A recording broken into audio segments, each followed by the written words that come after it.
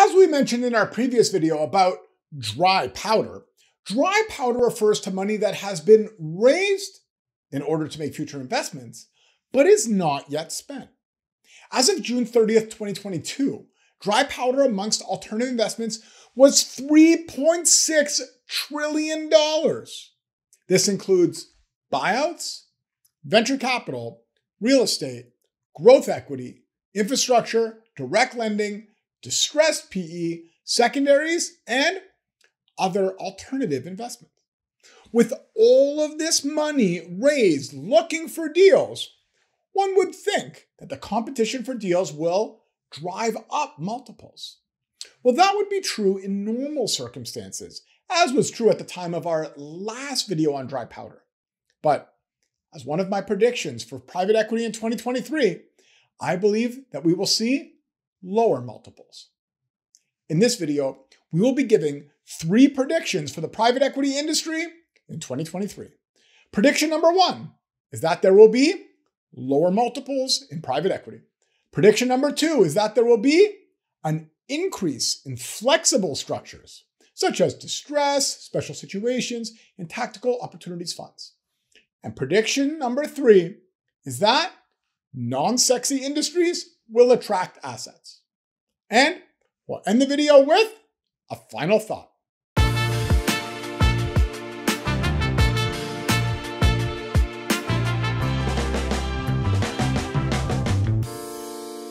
So let's get started with our first prediction that there will be lower multiples in private equity.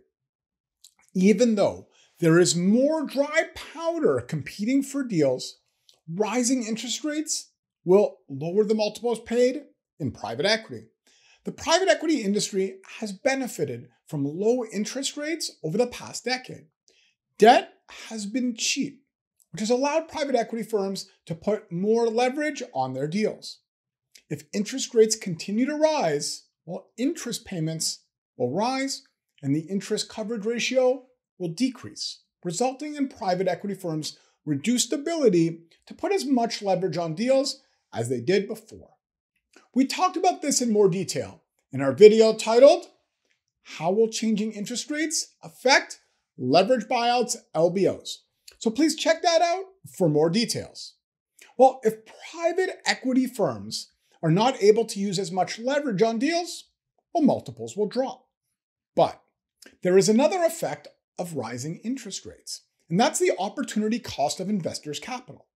Over the past decade, or even more, investors have been shifting their assets away from traditional low interest investment options because of the need to achieve a certain target return and private equity has been able to meet that need. Well, if we will be in a lower return environment for private equity in the future and a higher return environment for asset classes that are based on interest rates, well, this will also put pressures on private equity multiples.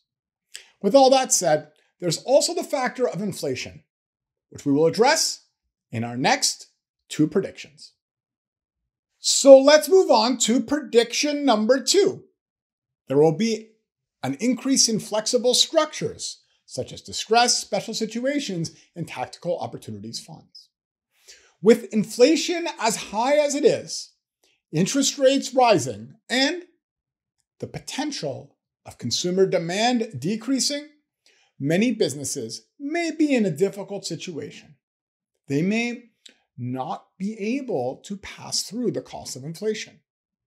They may not be able to support the payments of the floating rate loans, and their customers may have less disposable income to spend. If that happens, we may see many companies under distress. And the best private equity funds to help with these companies are funds that have expertise to turn around faltering assets and flexibility to structure win win structures that benefit both the buyers and the sellers.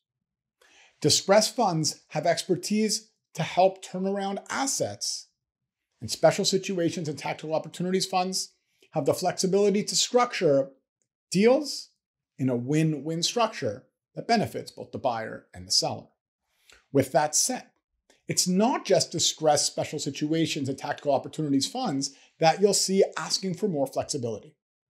When a private equity fund raises capital, even though the fund may have a specific mandate based on sector, geography, and size, in the mandate, the private equity fund may negotiate with investors to have flexibility to invest a certain portion of the capital raised in opportunistic investments that are not completely aligned with the strategy. I bet with the rapidly changing economic situation that we are in, those flexible portions will be a lot higher than they were in the past. So let's move on to prediction number three. Non sexy industries will attract assets. There's a good chance that we're heading to a recession. Or, as finance professionals will say, there may be a softening in the economy. Remember the tech bubble? Remember the financial crisis? Well, in those times, while there was a leading asset class that fell dramatically, such as tech in 2000 and real estate in 2008, many other asset classes fell alongside tech and real estate in those respective years. With that said, certain industries that offer necessities still performed okay. These industries are not sexy and don't make headlines, but they do protect your assets. Healthcare was okay. People still need to take care of their health. Consumer staples were okay. People still need to shop at places like grocery stores. And utilities were okay. People still need heat and power. While I believe non sexy industries will attract assets, please don't forget that when investing in any industry, you need to look at many other factors outside of the general economy. For example, some healthcare companies may be overvalued because of the overhyped demand caused by the recent COVID 19 pandemic. And some utilities companies may be hurting because of the dramatic increase in costs caused by the current energy crisis, where these costs are not easily passed on to customers. But overall, I believe that you'll see investors flock into industries that are not sexy and perform resilient in downturns. Now, here's a final thought.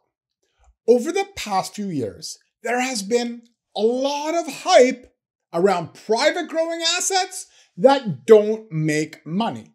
Many companies and funds have raised investor capital using overly optimistic projections that are based on non realistic economic growth assumptions. Investors, my recommendation is that when looking at investments in 2023, please protect your portfolio. Diversify your assets. Don't put all your eggs in one basket, unless you're investing in yourself. Invest in non sexy sectors or even business models that will prove to be resilient in a downturn.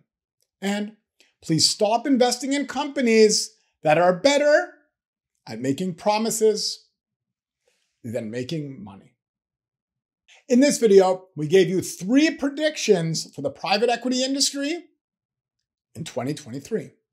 Prediction number one is that there will be lower multiples in private equity.